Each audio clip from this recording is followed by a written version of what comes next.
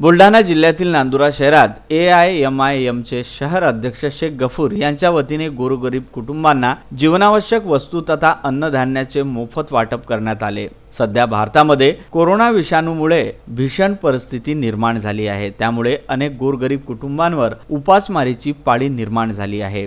अशा या भीषण परिस्थितीमध्ये अनेक सामाजिक संस्था मदतीचा हात विविध माध्यमातून गोरगरिबांना देत आहे.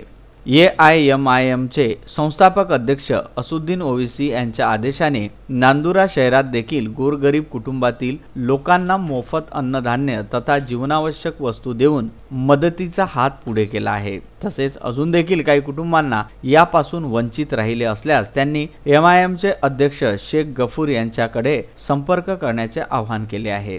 आज हमारे देश के अंदर कोरोना वायरस ने जो हाल किया हुआ है, इसको देखते हुए देखते हुए ऑल इंडिया मजलिस मुस्लिमीन की ओर से नांदुरा शहर के अंदर सभी गौर गरीबों को ऑल इंडिया मजलिस मुस्लिमीन की ओर से जो हम लोगों ने अन्नदान का किया हुआ है, वो सभी गरीबों को यहाँ पर हम लोगों से जितना होगा उतना हम लोग हमारी तरफ़ से देंगे।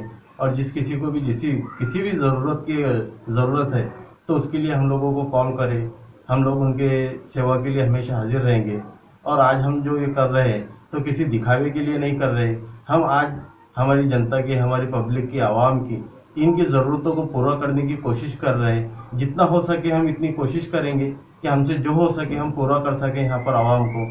क्योंकि आज कोरोना वायरस ने पूरे हिंदुस्तान को सताया हुआ है। आज महाराष्ट्र की जनता, आज हमारी नांदुरा शहर की जनता आज हमारे विदर्भ की जनता, इस जनता के इस आवाम के साथ में हमको खड़ा रहना है और ऑल इंडिया मजलिस मुस्लिमीन, जो हैदराबाद में करते आ रही है काम इंशाल्लाह नांदुरा शहर में भी वही काम जारी है। और हम लोग पूरा पूरी मेहनत करेंगे कि हम कोशिशों को अंजाम दें, क्योंकि इसके लिए हमारी कोई औकात और हैसियत नहीं। हम जो भी आप लोगों की दुआओं से ये मेहनत कर रहे हैं और इंशाल्लाह इस मेहनत में हमको अल्लाह सक्सेस कर रहा है, यही हम कोशिश कर रहे हैं। विदर्भ न्यूज़ करिता नांदुरा येथून पुरुषोत्तम भातुरकर।